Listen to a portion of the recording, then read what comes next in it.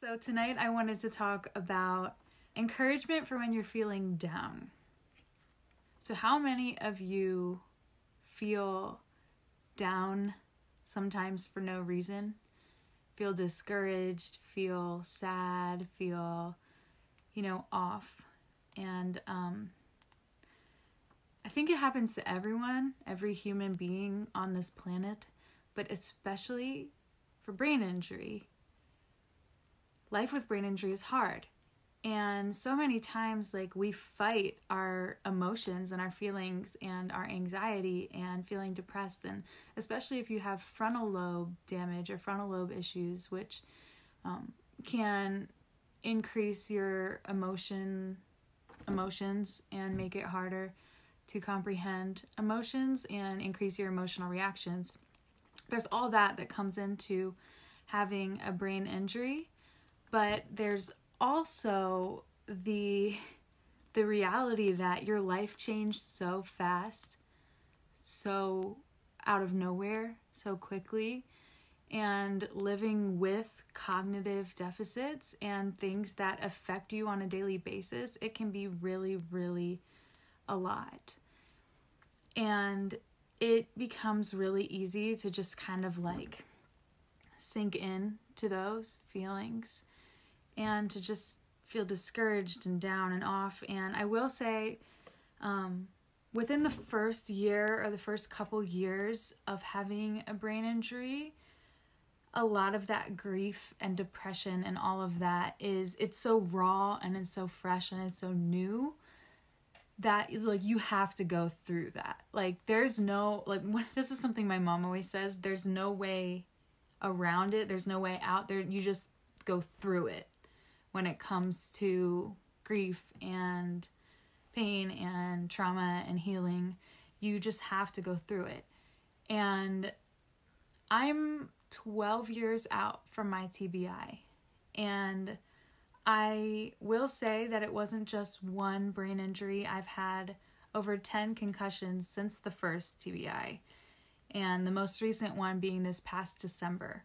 And so I don't want people to see, oh, she's 12 years out and she's still like struggling. I do believe that if I didn't have any re injuries, I'd be in a very different place today than I am because um, one brain injury, healing from one brain injury or two or three is a lot easier than healing from I've had 12 concussions at least since my first TBI. So, like, I'm in the double digits when it comes to brain trauma. So, everyone's journey is different. And, you know, I'm just, I, I, do all that to say my experience isn't going to be exactly what yours is. And I don't want it to discourage anybody because I have seen a couple people at some point comment that, um, oh, well, it's not hopeful to know that you're over 10 years and still dealing with it. And that's not my goal at all. I want you to find hope and that's why it's called Hope After Head Injury. But I will say that um, having a lot of re injuries has set me back. And I know I'm not the only one that's been re injured and had re injuries. So, um, but back to what I was originally saying when you're going through the emotions and the trauma and you're in that early stage of learning to live with a brain injury, there's going to be a lot more ups and downs. There's going to be a lot more emotional hurdles that you have to jump through, and a lot more things that you have to get used to in the early stage. And I definitely recommend, you know, working with your therapist and finding the right neuropsychology, finding a support group as early as possible. But when you're living with it for so long, you just get tired of it because you're like, okay, yeah, I'm improving. I see that I'm improving little by little, but I'm tired of it being little by little. I'm gonna live with this rest of my life. Am I gonna live with th- this the rest of my life? Am I ever gonna be able to drive? Am I ever gonna be able to work a normal job? Am I ever gonna go back to how I was before? And you kind of get in this uh, cycles of self doubt, putting yourself down, getting tired of dealing with it, getting tired of living with it, getting so frustrated and annoyed with your brain injury, like, why won't it just go away? Why am I still living with this? I see this other person has healed more than me. Why is that? Uh, and side note, we can't compare our journeys because all of our journeys are different. But when we get negative patterns of thinking, that is something that we do. So today, I wanted to encourage you, bring some encouragement for when you're feeling down. If you're living with brain injury and you are just down and sad and you can't quite put a finger on it, um, you just feel melancholy and off, I just want to encourage you that, first of all, that's part of being human. Human beings get discouraged and feel down and feel sad. Um, so don't be hard on yourself for that. Second of all, look at the environment and see if there are some things that you can change that could possibly help you feel better or some things to help you explain it. Now, this time of year up here in America, I don't know where you're watching this, but in the northern hemisphere, it's it gets dark early and it is um it is cold. And when it's cold and it's dark, they have, you know, seasonal, you can get seasonal depression. And that's something that I think affects almost everyone to a certain degree. But with the TBI, with the coldness and the darkness and the weather changes, my head hurts every time the weather changes. Every time it's almost gonna rain or it's almost gonna snow or it goes from being hot to cold and the air pressure changes, it gives me a really bad headache and it makes me be in pain. And I know a lot of you guys have expressed that you experience that as well. So, take into account that you could be feeling down simply because the weather is changing.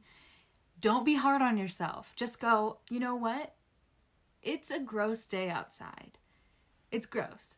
And it's going to make my head feel gross because my brain is more sensitive to air pressure. And just learn how to tell yourself that because it used to be that every time there was a rainy day or something, I would like fall apart.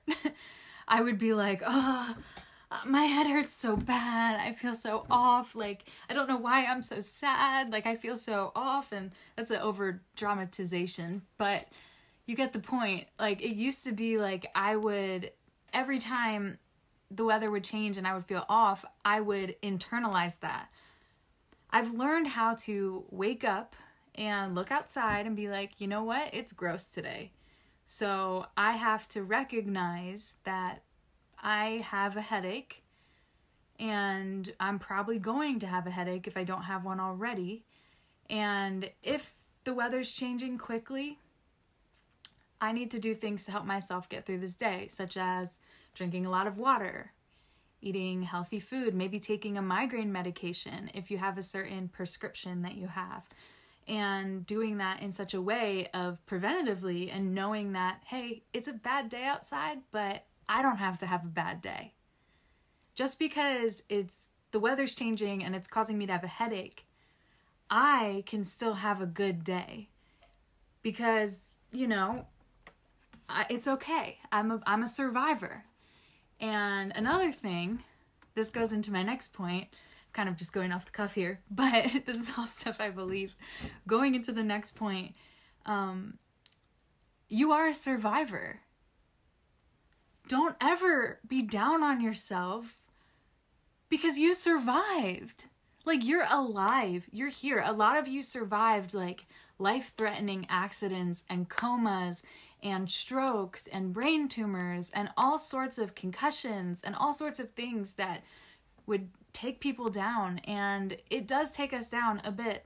But you're still here. If you're watching this video, if you are able to sit and watch a video. And that means you're a survivor. It means you're a survivor because you're alive, you're breathing, your heart is beating, you're here. God still has a plan for your life. You're here. And also, you're watching a video about encouragement, which means that you're a survivor because you want to be encouraged. So you're making a choice right now while you're watching this video to be a survivor and say, you know what? Life with brain injury is hard, but I don't want it to be quite as hard. And I'm trying to help myself. And the way that we approach ourselves and what we say to ourselves and how we um, talk to ourselves makes a huge difference. And that's something that I have been learning a lot lately.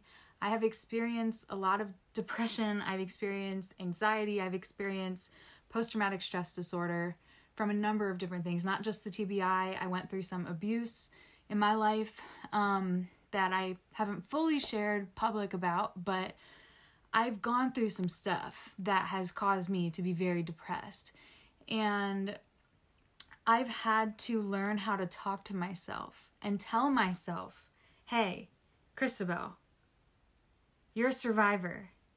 You are loved, you are valued, you are worthy. And you have to tell yourself these things because otherwise, these negative things that come in your mind are going to take over.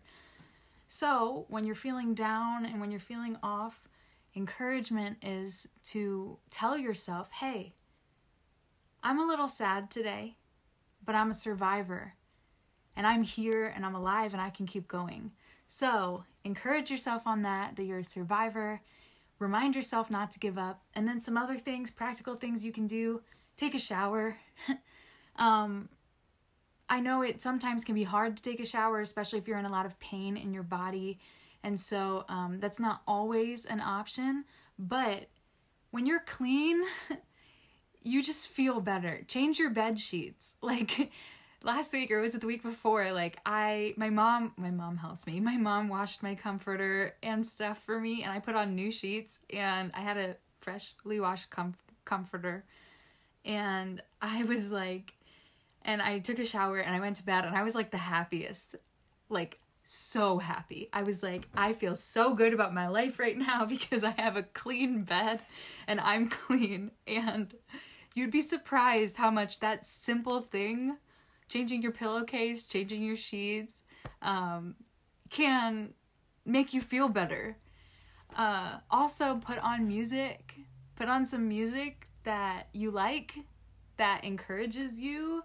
Whatever songs are your favorite songs, put them on to remind yourself that, you know, there's still hope. Put on positive songs. Don't put on sad, negative songs. I mean, you can put on like songs that get you in your feelings, but like, you know, not like super like downers. um, songs that are real that encourage you. Uh, that's the kind of songs I try to write. Songs that will encourage you through your hard times. But um, yeah, and so put on put on some songs. Uh, if you use essential oils, which I love, put on your diffuser. I love diffusing lavender. Lavender calms me down like nothing else. I actually have it like right here. My little um diffuser thingy on this table. And I just put this in there.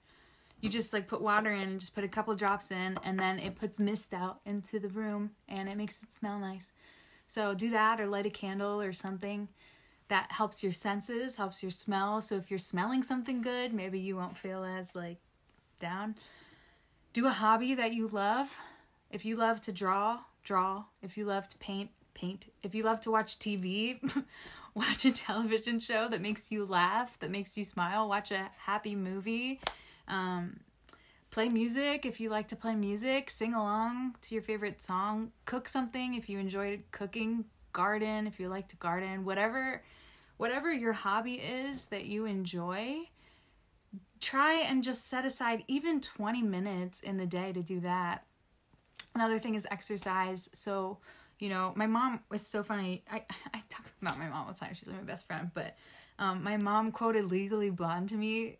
I think it was today or yesterday. I was telling her that I was feeling down. And she's like, but you need to exercise because endorphins make you happy. And it was like when Elle Woods is like saying that she would never kill someone because endorphins, exercise, eh, whatever. Um, if you've seen Legally Blonde, you know what I'm talking about. But um, exercise gets the blood flow even just some simple like jumping jacks or like if all you can do is do some stretches like put your arms up and put them down or like walk in place or just like walk a little bit or if you're in a wheelchair maybe you know doing some stretches or whatever kind of exercises your physical therapist has given you. I have exercises from dr schmo who's my functional neurologist that i went out to see in minnesota. He gave me certain exercises to do. And that like if, if i do those exercises it gets the blood flow going and the blood flows up to my brain and the endorphins go and it just makes you feel a little better so, do a little bit of your exercises to try and help when you're feeling down. And then, of course, I mentioned this briefly earlier, but nutrition, hydration. Okay, drink lots of water and eat foods that are good for you because that will that will help. That will help you get through the day and it'll help you feel better. So, yeah just be encouraged that if you're feeling down, remember that it's human, it's okay. But as a brain injury survivor, there are some tools you can use to help yourself to feel better.